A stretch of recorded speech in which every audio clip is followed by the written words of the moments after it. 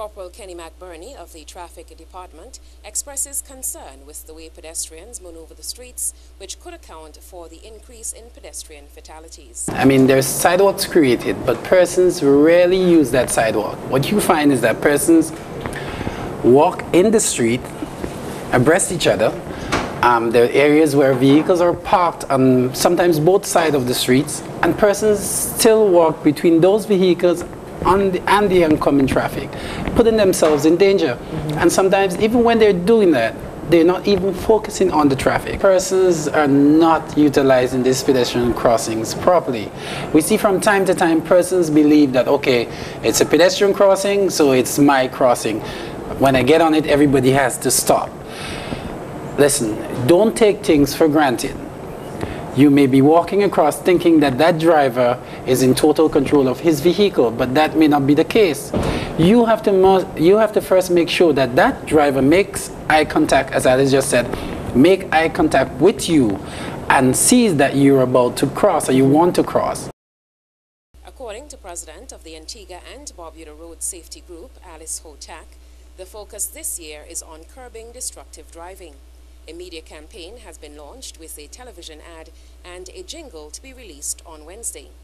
This year marks the third anniversary of the Decade of Action Road Safety established by the United Nations in May 2011.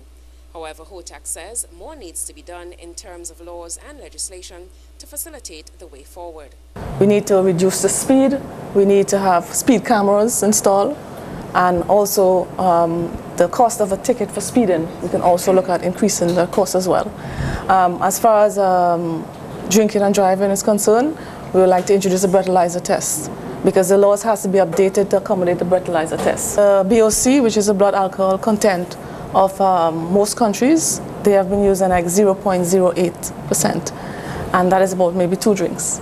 Okay. So what we like to also implement here is a zero tolerance for minors, drivers, young drivers, and commercial drivers and so on. She adds that other countries have amended laws and legislation and have seen a reduction in road deaths, like Jamaica 6% and Trinidad 20%.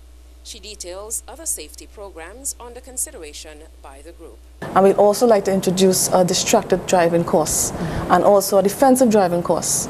So defensive driving course will benefit taxi drivers, bus drivers, commercial vehicles, and, and so forth, so they'll be safer on the road. What I think can also um, be looked into, into implementing um, the point system, where persons lose points of the license when they, they get into certain, uh, you know, you know, yeah, traffic, or, yeah, traffic offenses. Yeah. McBurney recommends a point system be put in place where persons would lose points from their driver's license, leading to its suspension. He adds that persons deemed as incompetent should be retested by the Transport Board. HOTAC is strongly of the view that there needs to be a National Safety Council to collaborate with stakeholders in the production of a national plan and budget. Sherilyn Beezer reporting for ABS News.